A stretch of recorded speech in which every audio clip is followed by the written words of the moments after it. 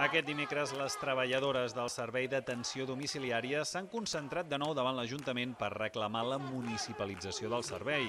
L'àrea de drets socials va descartar aquesta opció basant-se en un informe intern on considera l'actual contracte de serveis la forma de gestió idònia.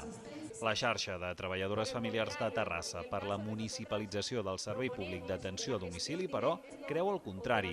Ho ha argumentat en un contrainforme que ja ha presentat al registre municipal.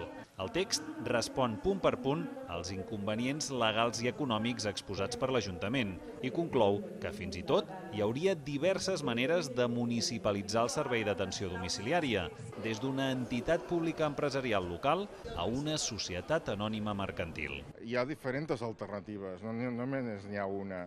Eh? Vull dir que eh, tenim altres exemples de la ciutat de serveis públics, eh, jo que sé, eh, Ecoequip, per exemple, o altres, i hi ha fórmules que ja s'han posat en marxa perquè no d'aigua o jo que sé, moltes.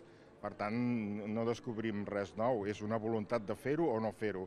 I, I el que no acceptem és que ens diguin mentides, que, que té un cost inassumible, que tècnicament, organitzativament no es pot uh, assumir, això els hi desmuntem realment en aquest informe. Més enllà de les fórmules de contractació, amb la municipalització, les treballadores demanen sobretot reconeixement consideren que una feina d'atenció als qui ho necessiten ha de deixar enrere conceptes de mercat com la competitivitat i pagar salaris dignes. Nos dediquem a les persones indefenses, que és un servei públic i volem que estigui públic 100%, directament subcontractats de l'Ajuntament. No volem empreses per el mig. El que estem lluitant nosaltres és que nosaltres treballem i cobrem uns sous molt, molt baixos. Per això les empreses i l'Ajuntament recaudarà més cèntims si treu la, les, els, les empreses del mig. Al servei d'atenció domiciliària hi treballen actualment vora 300 persones, majoritàriament dones. Ara esperaran resposta al contrainforme presentat, encara que ja tenen programada una nova reunió amb l'Ajuntament